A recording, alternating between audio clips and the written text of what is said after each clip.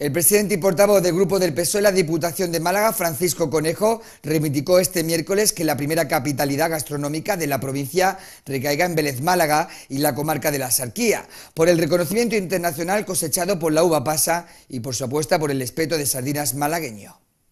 El PSOE reivindica la primera capitalidad gastronómica de la provincia para Vélez y la Axarquía por el reconocimiento a la uva pasa y su apuesta por el espeto. El presidente del PSOE en Diputación, Francisco Conejo, participó este miércoles junto al alcalde de Vélez Málaga, Antonio Moreno Ferrer, y el presidente de la Carta Malacitana, Antonio Carrillo, entre otros, en la entrega de la distinción Fuego y Sal al chiringuito Pedro de Benajarafe y al espetero Farina, José Antonio Varela.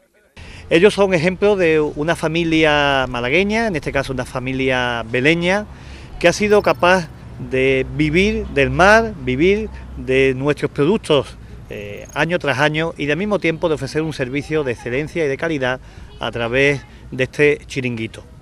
Chiringuito eh, representa el mejor eh, ejemplo de cómo el espeto malagueño sirve para apostar por el turismo de calidad y el turismo de excelencia. Conejo volvió a solicitar a la Diputación que esa candidatura gastronómica que desde el Grupo Socialista han propuesto para que desde Sabor a Málaga cada año se pueda elegir a una comarca o un municipio que se caracterice por apoyar la gastronomía tradicional, recaiga este primer año en Vélez Málaga y la Axarquía por su casuística singular que la hace merecedora de esa distinción. Si unimos la uva pasa y el espeto malagueño con esa candidatura al patrimonio cultural inmaterial por parte de la UNESCO, está más que justificado que la Sarquía sea la, primera capital gastronómica de la provincia de Málaga, que Sabor a, Málaga se vuelque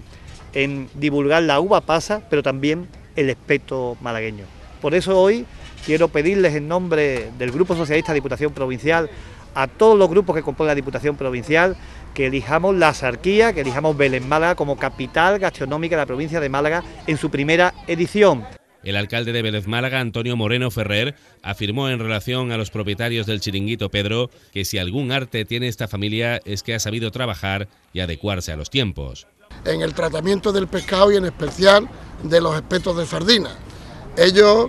todas las mañanas con su copo han ido recogiendo sardinas y otro tipo de especies para que luego sus productos fueran de los mejores. Por eso este reconocimiento al menos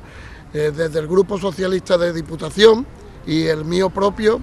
creo que no es un reconocimiento a la trayectoria solo del porqué de los espetos, sino al trabajo continuado de una familia. Los socialistas han subrayado que el espeto es un patrimonio de nuestra cultura alimentaria que tenemos que poner en valor y cada vez es más reconocido.